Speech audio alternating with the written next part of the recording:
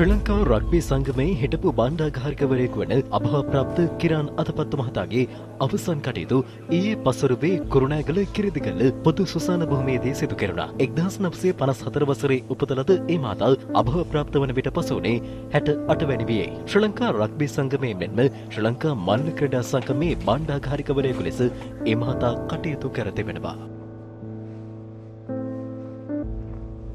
ඇත්ත කෙටියෙන් දත්ත වැඩියෙන් සයිබ අවකාශය කළඹන වුවත් සලකුණ නිවස් ෆර්ස්ට් YouTube චැනලය අදම සබස්ක්‍රයිබ් කරන්න.